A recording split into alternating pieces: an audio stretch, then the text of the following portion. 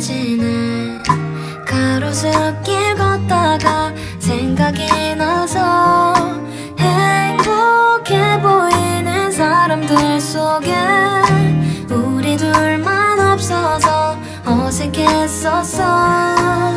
늘 집에 가